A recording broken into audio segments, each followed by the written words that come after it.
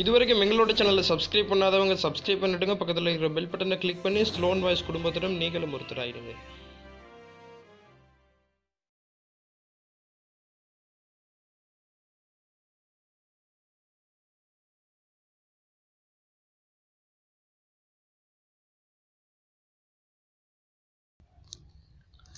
தமிழர்களுக்கு முதலமைச்சர் தேவை என்றால் அவர்களே முடிவு செய்யட்டும். ரணில் விக்ரமசிங்கே தமிழ் மக்களுக்கு ஒரு முதலமைச்சர் தேவை என்றால் தமிழ் மக்கள் முடிவு செய்யட்டும் என பிரதமர் ரணில் விக்ரமசிங்கே தெரிவித்துள்ளார். சம்பாந்துறை பிரதேசத்தில் இன்று இடம்பெற்ற இளைஞர் மாநாட்டில் கலந்து கொண்டு உரையாற்றிய போதே அவர் இவ்வாறு குறிப்பிட்டுள்ளார். இதன்போது தொடர்ந்து உரையாற்றிய அவர் நவம்பர் பதினாறாம் தேதி உங்களுக்கு மிக முக்கியமான நாள். நாங்கள் இரண்டாயிரத்தி பதினைந்தாம் ஆண்டு ஜனவரி எட்டாம் தேதி ஒருமுக புரட்சியை ஏற்படுத்தினோம். அந்த யுக புரட்சியை முன்கொண்டு சென்று இளைஞர்களுக்கு சிறந்த எதிர்காலத்தை ஏற்படுத்துவதுதான் எமது நோக்கம். அதை செயல்படுத்தி கொடுப்பதை நான் நாங்கள் செய்ய வேண்டியிருக்கிறது. இளைஞர் இந்த அபிவிருத்தியோடு தொடர்ந்தும் பயணிக்கப் போகின்றோம். என்பதை முடிவெடுக்க வேண்டிய அவசியம் இருக்கிறது. அன்று நாங்கள் ராஜபக்சவின் சர்வாதிகாரம் ஏகாதிபத்தியத்தை இனவாதத்திற்கு பதிலாக நல்லிணக்கத்தையும் சமாதானத்தையும் ஏற்படுத்தி இருக்கின்றோம். நாம் அனைவரும் ஒன்றிணைந்து செயற்பட்டிருக்கின்றோம்.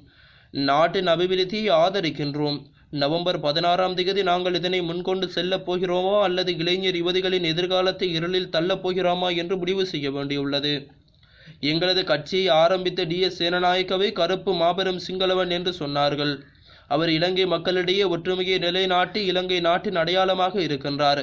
அந்த பாதையிலே நாங்கள் பயணிக்கின்றோம். ராஜபக்சவும் ஒட்டு வேறு வழியில் பயணிக்கிறது. நாங்கள் செய்திருக்கும் பணிகளுக்கு பதிலளிக்க முடியாமல் இனவாதத்தை பேசிக்கொண்டு திரிகிறார்கள். கிழக்கு மாகாணத்தை முஸ்லிம்களுக்கு கொடுக்கப் போகிறேன். ஆகவே தமிழர்களுக்கு இடம் கிடையாது. எனவே தான் நான் பிள்ளையாடனை விடுதலை செய்யப் போகிறேன் என ராஜபக்ச சொல்கிறார். தமிழ் மக்களுக்கு ஒரு முதலமைச்சர் தேவை என்றால் தமிழ் மக்கள் முடிவு செய்யட்டும். கிழக்கு மாகாணத்தில் வாழும் சகல இன மக்களும் தங்கள் இன சார்பான ஒரு முதலமைச்சரை தெரிவு செய்யும் அதிகாரம் இருக்கிறது. கிழக்கு மாகாண மக்கள் ஒற்றுமையுடன் வாழ்வதால் முதலமைச்சரை தெரிவு செய்யும் பணியை அந்த மக்களிடமே விட்டு விடுகிறேன் கோத்தாபய ராஜபக்சவுக்கோ எனக்கோ இங்கு வாக்கு கிடையாது. இங்கு வாக்களிப்பவர்கள் அதனை தீர்மானிக்கட்டும். தெற்கிலே போய் நான் தமிழ் கட்சிகளுடன் இரகசிய ஒப்பந்தங்களை செய்துள்ளதாக இனவாதத்தை பரப்புகின்றனர். உயிர்த்த ஞாயிறு குண்டுவெடிப்பின் பின்னரும் அதைத்தான் செய்தார்கள். இன்றும் அதனையே செய்கிறார்கள். இவர்களுடன் நல்லிணக்கத்தை செய்ய முடியுமா? அவர்களுக்கு தேவை வாக்குகள் மட்டுமே. நாடு எவ்வாறு போனாலும் பரவாயில்லை. இவர்களுக்கு எதிராக நவம்பர் பதினாறாம் தேதி அன்ன சின்னத்திற்கு வாக்களிக்குமாறு உங்களை கேட்டுக்கொள்கின்றேன். வடகிழக்கு மொனராகலை மாவட்டத்தில் யுத்தம் இடம்பெற்ற பின்னர் பல அபிவிருத்தி அடையாமல் இருக்கிறது. இவற்றை நாங்கள் அபிவிருத்தி செய்ய இருக்கின்றோம். இவற்றை அபிவிருத்தி செய்ய அதிகளவு நிதியை ஒதுக்கி தருமாறு சர்வதேசத்திடம் கோரி நிற்கிறேன். அம்பாறை மட்டக்களப்பு மாவட்டத்திற்கு முதலீட்டு வலயத்தை உருவாக்குவோம். மட்டக்களப்பு விமான நிலையத்தை அமைத்து சர்வதேச விமான சேவை அமைப்பதற்கு வேலை திட்டங்களை மேற்கொண்டு வருகின்றோம். இவ்வாறான உலர் வலயத்தில் விவசாயத்தை குறிப்பாக நெல் உற்பத்தியை நவீனமயப்படுத்தி உற்பத்தியை பெருக்க நடவடிக்கை எடுத்திருக்கின்றோம். சுற்றுலாத்துறையை ஊக்குவிப்பு வாகரை தொடர்க்கும் அருகம்பை வரை விருத்தி செய்ய திட்டமிட்டுள்ளோம். தொழில்நுட்ப கல்லூரி கைத்தொழில் பயிற்சி நிலையங்களை அதிகரிப்பதுதான் எமது அபிவிருத்தியாக இப்பிரதேசத்தில் இடம்பெற்று வரு இடம்பெற்று வருகின்றது. என்று அவர் குறிப்பிட்டுள்ளார். பலமடையும் சஜித் கோத்தாபாயவின் பக்கமிருந்து தாவிய முக்கியஸ்தர்கள். ஜனாதிபதி தேர்தலுக்கான நாட்கள் அண்மத்துள்ள நிலையில் வேட்பாளர் சஜித் பிரேமதாசவுடன் இணைவோரின் எண்ணிக்கை அதிகரித்துள்ளதாக ஐக்கிய தேசிய முன்னணியின் உள்ளக தகவல்கள் தெரிவிக்கின்றன.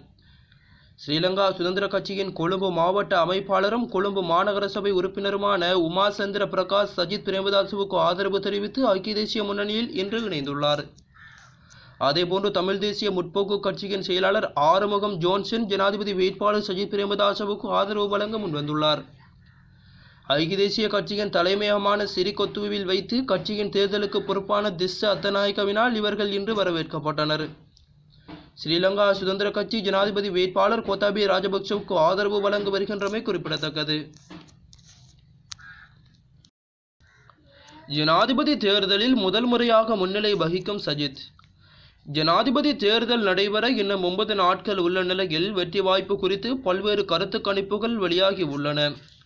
இதுவரை வெளியான கருத்து கணிப்புகளில் ஐக்கிய தேசிய முன்னணியின் ஜனாதிபதி வேட்பாளர் சஜித் பிரேமதாச முன்னிலை வருவதாக கொழும்பு ஊடகம் ஒன்று தகவல் வெளியிட்டுள்ளது. கடந்த சில தினங்களுக்கு முன்னர் வரை வெளியான அனைத்து கருத்து கணிப்புகளிலும் ஸ்ரீலங்கா பொதுஜன பிரமுன கட்சியின் வேட்பாளர் கோத்தாபிய ராஜபக்ஷ முன்னணி வகித்தார். நேற்று மாலை கிடைத்த கருத்து கணிப்பு ஒன்றிற்கமையே சஜித் பிரேமதாச முன்னிலை வகிப்பதாக குறிப்பிடப்பட்டுள்ளது. தொண்ணூறாயிரம் தொடக்கம் ஒரு லட்சம் வாக்குகளில் சஜித் கோத்தாபேவை ராஜபக்சவை தோற்கடிப்பார் என்று கருத்து கணிப்பு முடிவுகள் வெளியாகியுள்ளதாக குறித்த ஊடகம் சுட்டிக்காட்டியுள்ளது.